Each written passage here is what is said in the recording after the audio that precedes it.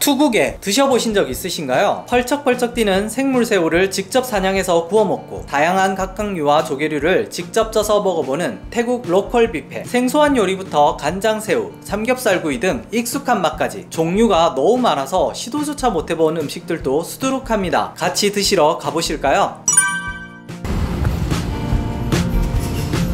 벌써 와있어 사람이 꽤 많은데 차가 엄청나게 들어왔어 벌써 한국 사람은 우리밖에 없어 보이고 일단 외국인 자체가 우리밖에 없어 보여. 어디서 먹지? 이렇게 숯을 갖다 주세요. 그릴이랑 샤브샤브. 불판 같이 해서 세 군데 중에 가격이 제일 비싸긴 한데 음료수도 포함이라고 했거든요. 요거는 젤리들.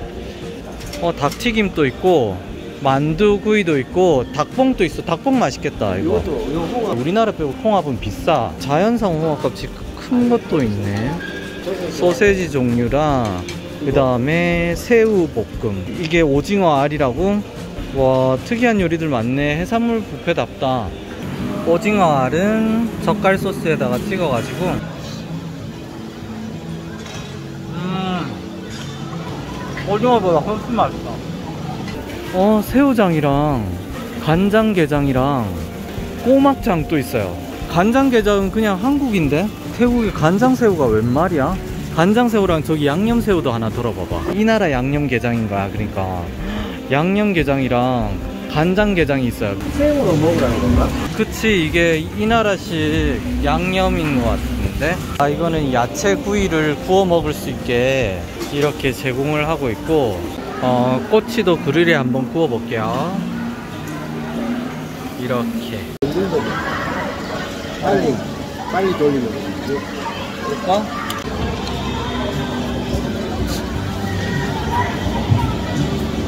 음.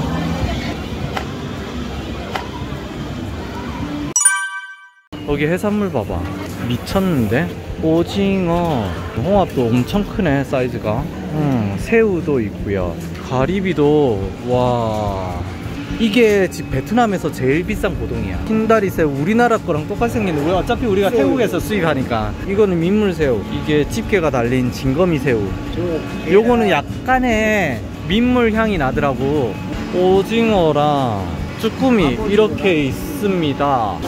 쭈꾸미 쭈꾸미는 양념장에 듬뿍 찍어가지고 매콤하게 음. 엄청 맵게 해왔네 양념을 마늘 듬뿍 와안 매워 게도 있고 아, 이거는 화석 아니야? 포함인가 가격에? 심지어 나는 처음 봐. 어. 아니 저 투국에는 먹어봤어야,지 알지. 삶아야 돼 아, 저 골뱅이도 다 삶아서 가져가네. 이거 어떻게 삶아? 몰라. 저기 삶아서 꺼내온 게 알이 가득 들어 있고요. 이게 산악지방인데 왜 이렇게 신선해? 얘는 삶아도 삶아도 빨갛게 안 변해서 어떻게 해야 될지 모르겠어. 처음 먹는 거라. 어, 나 이거 투국에가 어떤 맛일지 궁금한데? 생으로 처음 봐. 나도 처음 먹어 처음 먹어봐. 나도 처음 먹어. 이렇게 끓고 있어요 안에. 알인데? 알을 먹는 건가?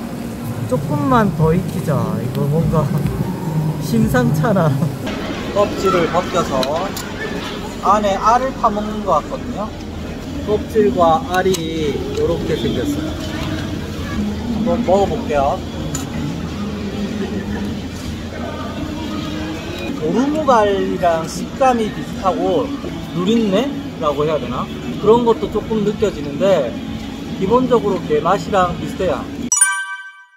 심지어 여기 수족관이 있는데 이렇게 진거미 새우를 풀어놓는데 여기서 사람들이 직접 잡아서 자기가 먹을 만큼 담아가고 있어요. 개 신기해.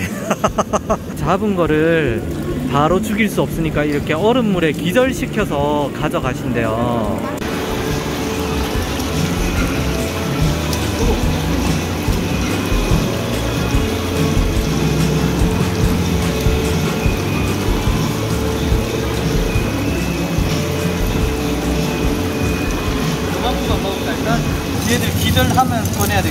기절했네 다. 기절 안 했어 이봐 살아있어 얘가 엄청 팔팔하네 오! 오 얘는 아직 살아있어 어떡해 많네. 제법 많아. 너무 많이 가져온 거 아니야? 물, 물, 물. 물. 저기요. 그렇게 담으시면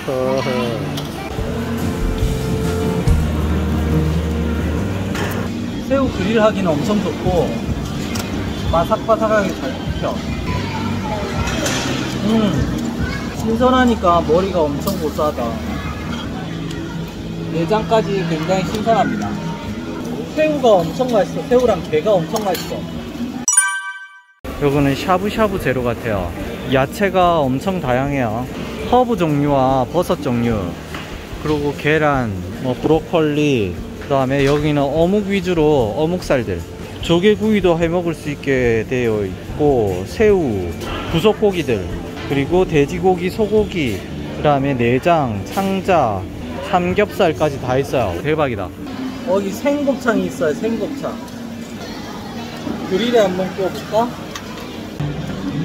곱창은 좀 질겨가지고 바짝 구우니까 괜찮더라고요. 바짝 구우니까 좀 잘 씹히네. 치즈 가리비도 구워 먹고요. 삼겹살도 그릴에 한번 구워 볼게요. 쫄게 두 개. 아, 오. 예, 큰다 이거. 빨리 먹. 이렇게 군함 하나 들고 왔어요.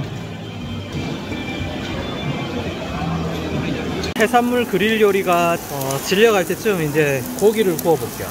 이렇게 구이판이 있고 그 밑으로 이렇게 샤브를 즐길 수 있는 팬이 있어요. 요것도 생곱창이거든. 어, 굉장히 매력 있는데.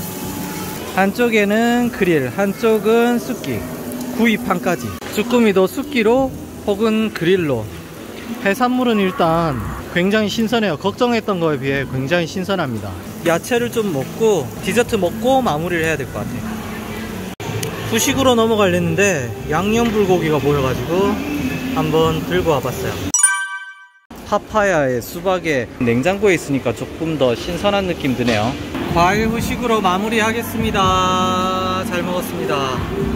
오늘 뷔페를 끝으로 치앙라이 태국 여행을 마치겠습니다. 내일은 slow boat를 타고 라오스로 넘어갈 예정입니다. 그럼 태국 여행 여기서 마칠게요. 감사합니다. 방석을 샀습니다. 그래서 배, 배에서 쓸 거고요. 이거를 배 의자가 딱딱하다고 해서 미리 준비를 했습니다.